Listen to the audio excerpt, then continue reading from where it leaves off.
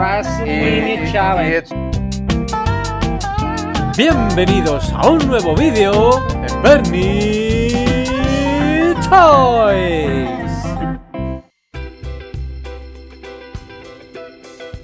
Bueno, vamos a ver si hay alguien que es mañana dominguera.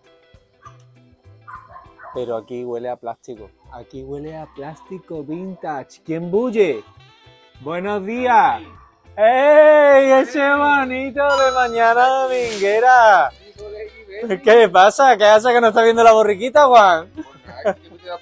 Me, que me cago en la más.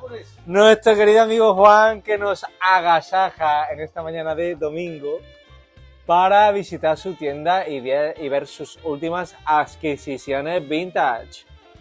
¿A que sí, amigo Juan? Bueno, esto está petadito de juguete y cositas, ¿eh? Oh, tío, ¿y esto? ¿Qué tenemos por aquí? ¿Qué tenemos por aquí? Chavales, bienvenidos de nuevo a Radio Nostalgia. ¿Cuánto tiempo?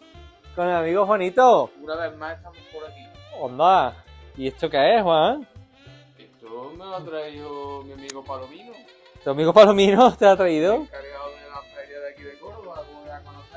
Qué chulo, tío. Él organiza aquí todas las ferias que ahora mismo tenemos otra. Qué chulada, tío. Pues bueno. pues resulta que en vez de irme a ver la borriquita, que vamos a ver la borriquita ahora después, ahora, ahora después vamos a ver la borriquita, por supuesto, pues nada, aquí el amigo Juan me dijo, Benny, tengo un lotecito de cosas que, que hay que enseñarnos al canal. Que tenemos que verlo, que tenemos que verlo. Tenemos que verlo ma- que verlo, vintage. Y a ver, claro, pues aquí llegan novedades como siempre toda la semana y esta semana pues nos han traído locos con todo lo que ha llegado. Eh, Bueno, Juan, lo primero, lo primero. ¿Dónde te pueden encontrar nuestros queridos Bernardiásticos jugueteros para comprarte cosas? Que es lo importante. Para esta Spam, altura, haces expander bueno. para esta altura ya, para quien no lo sepa, hombre, yo ya llevo cinco años aquí que no está más, cinco años, ¿eh? ¿Cuánto? Va a ser ahora en mayo. Ahora en mayo, cinco. Buen premio, sí. Ahora en mayo 5. Entonces, bueno, eh, yo estoy ubicado en Córdoba, en una calle muy cercana a Carrefour Zaira. Está más lejos que el campo. Sí, Bien. está ya casi afuera de la ciudad, pero bueno, a quien le pegue por esta parte llega perfecto. Perfecto, a quien perfecto. tenga que dar la vuelta a todo Córdoba, pues al revés. Como yo. Estoy situado en calle escritor Juan Alfonso de Baena, el local 4. Así que aquí seguimos. Aquí tenéis vuestra casa. Pero eh, redes, ¿dónde pueden contactar con vosotros Y para nosotros, piezas? pues, por ejemplo, por nuestro Instagram, que es Rollo Nostalgia Oficial, ahí siempre estamos activos. Y luego por nuestro Facebook de la tienda, que es también Rollo Nostalgia, Perfecto. anticuario. Perfecto. Bueno, pues vamos a hacer también un pasecito rápido para que veáis la tienda porque está bastante cambiada desde la última vez que vine. A ver, trasiego, de entra y sale, entra y Sí, sale. hombre, aquí, Mete saca, mete saca. aquí y- no paramos, siempre sale, entra, siempre sale, entra. y Eh, el ay, el el susodicho. suso- el susodicho. Así que vamos a ver qué cosita, qué cosita nos ha preparado el amigo Juan. Vamos a verlo.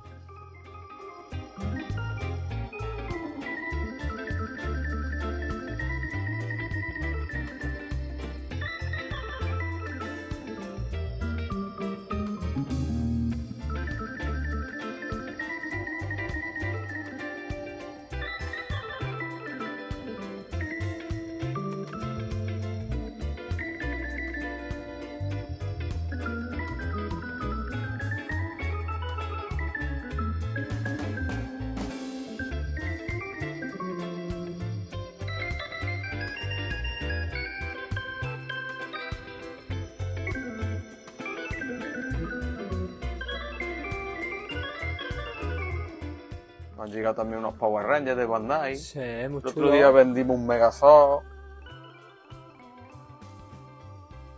PVC del bueno. Sí.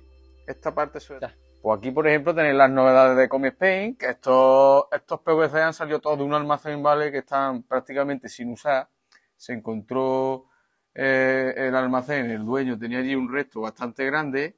¿De dónde era el almacén? El almacén se encuentra en Barcelona, ¿vale? Ah, ya me imagino yo Sí, de... un famoso almacén allí Sí, en, sí, en Masada, sí, sí. ¿vale? Eh, Exacto, exacto. Y bueno, pues me, eh, gracias a unos contactos me he podido traer un poquito de variedad de cada personaje. ¿Le mandamos un besito a Ivy? Claro, ¡Eh, Ivy, Ivy! uno de ellos es responsable de todo esto. De toda esta locura plastiquera, qué chulos, Así tío, la verdad que gusta, están impecables. Sobre todo, eh. sobre todo el inspector Gacha es el que más me gusta, con mi Paint. Sí. A mí el, el Conan, tío. El Rambo está muy chulo también, o los pájaros locos. Pepe Soplillo, precioso, El tío. Soplillo, se han llevado mucha máscara, porque las máscaras ya se, ya se las han llevado todas.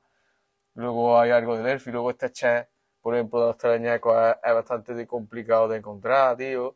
Y salieron bastante allí, Sí. está muy chulo. Sí, yo he visto todos esos vídeos y la verdad Sí. que es épico el material, ¿eh? Sí.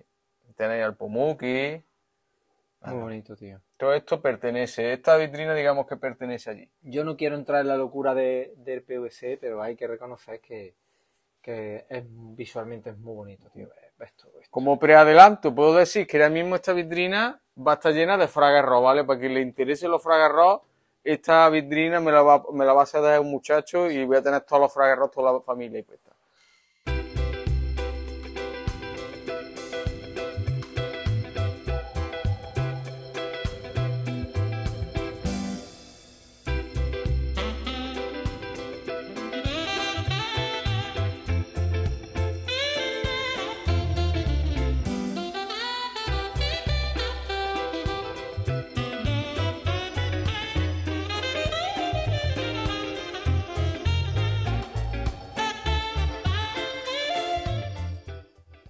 ¿Y qué tenemos por aquí, Juanito? Bueno, y aquí Ahí, tenemos tío. otra colección que estaba deseando completar, que aunque no son los vintage, tengo que decir que para mi gusto me gustan más que los vintage porque el acabado es una maravilla.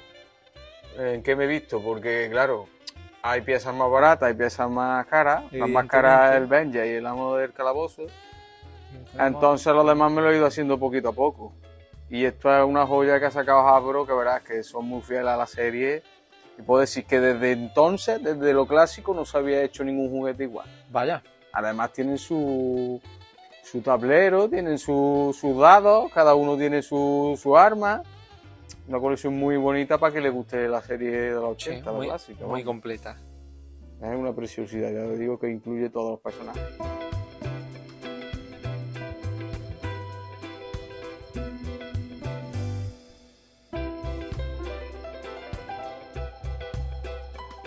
Esta, esta vitrina está aquí especializada para los amantes del humor español. Hostia, los los tazos años- de Fisto desde chiquito. ¡Uno que llega borracho! ¡Ha salido el Oreón! ¡Al ataque! Esto para los años, de los años 60, 70, 80 en adelante, he querido caracterizarlo como lo más típico, así un poco, los chistes de Arévalo, que ahora, bueno, no se podrían contar. En paz, des- en paz descanse. Y ya está, Miliki y Rita, Cintita. qué bonito, tío. Aquí. ¿Tú te sabes el chiste del, del cáncamo? Yo quiero un que tiene que un mantangón que se mete en rancañanta. Mortadelos, tío. ¿Esas gafas son originales? Esas bonito? gafas son las suyas. Son las suyas. Qué guapo, tío. Mortadelos. Estas son Spain, hombre, un poquito de homenaje a Ibáñez, que falleció hasta hace poco. Sí. Y, un genio. y aquí no pueden faltar sus cómics y sus figuras. Eso está claro. Precioso rincón. Aquí te veo español, que este super humor lo tengo yo desde la infancia. Juan, ¿qué joyita tienes por aquí, Mira, tío? aquí estoy explicando que como dentro de poco tenemos una feria que va solo dedicada a la segunda mano también, pero relacionada al tebeo, al cómic de toda la vida y alguna segunda mano seguramente haya juguetillos y cosas retro. Estoy comentando aquí a Bernie que aparte de, de Mortadelo y demás y Sipe y Sape, aquí estas nuevas galerías del humor, que son unas tapitas blandas que había en los 80, lo que me gusta de ellas es que se incluyen personajes que solo estaban en, esta- en estas publicaciones, ¿vale? Por ejemplo, Sí. Monse, la amiga de los animales, Vaya, tío, me acuerdo. tío. si tú, si tú quieres encontrar tomos así más sueltos, te va a resultar muy complicado. Aníbal, por ejemplo, aquí otro personajillo que dirá la gente, yo Aníbal ni, ni idea, oye. Yo sí, yo sí me acuerdo. Roquita. Roquita, Roquita, muy mítica, tío, me Claro, gustaba. esto tío. era una pequeña cavernícola. Aquí había un Sí. personaje que a mí me gustaba mucho, en especial que era, aparte de este, este, Pac-Man. Pac-Man, Que sí. esto era como una versión cachonda de, de Batman. Sí, Era Es como un, un personaje mitad, digamos, eh, Ibáñez, mitad, no, mitad de C, pero tío, eh, o Super López, y sin Sí. embargo era en plan coña, un Batman en plan coña. sí. Pues yo, esta- estas publicaciones son súper difíciles de encontrar.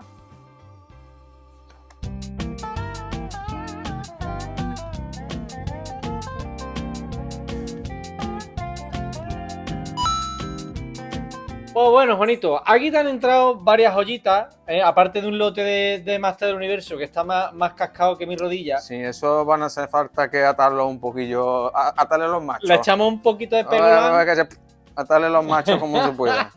¿Qué, Porque, tenemos, qué tenemos por aquí, amigo? mire, pues, pues comentaros que ayer, ayer un sábado bastante movidito, Aquí la tienda. sí, Mate- material bastante bueno. movidito, llegó un hombre para ofrecerme pues unos masters que efectivamente están bastante reventados. Y luego me trajo estos juegos, atención, Atención. de Tachan, de la Nintendo, Qué preciosidad, tío. de originales de la Nintendo en su caja. Oh, Y, y- y esto va a durar, pues, Y va a el durar Batman, tío. Lo mismo que un soplío. Esto va a durar menos un caramelo Porque- Y un Super Mario sin caja. Super Mario Este- 3, este- mi este- juego este- favorito. Este viene en su, es sin caja, sí. Vamos. Este ya está vendido, esto se supone que se lo tienen que llevar ahora. Se y- supone, bueno, se supone. Juan, Se supone. ¿qué precio tenemos por si te lo dejan colgar? Mire, los precios aquí son muy económicos dentro de lo que cabe. Este, este por ejemplo, está completo. Este es el WrestleMania, ¿vale? WrestleMania De- Challenge. WrestleMania. Y tiene todo. mítico, un juego Y- fíjate que tiene hasta la guía, ¿vale? Eso es complicado que tenga hasta la guía. Pues tiene la guía, tío. cartucho, Qué pasada. La caja, como veis, el corcho, su protector, manual, bueno, el manual, el corcho. el manual. Y la el caja, juego hombre, y el juego está ahí. Y bueno, la caja dentro que cabe, nada mal, ¿eh? Muy buen estado. Nada mal. Pues, hombre, para los usos que se le dan a esta historia, pues podéis imaginaros. Así que esto es un pedazo de juego junto al Batman en su caja. Ya ves. Que estos dos seguramente por ahora venga el cliente. Ahora mientras está Bernie aquí, pues seguramente después venga y se lo lleve.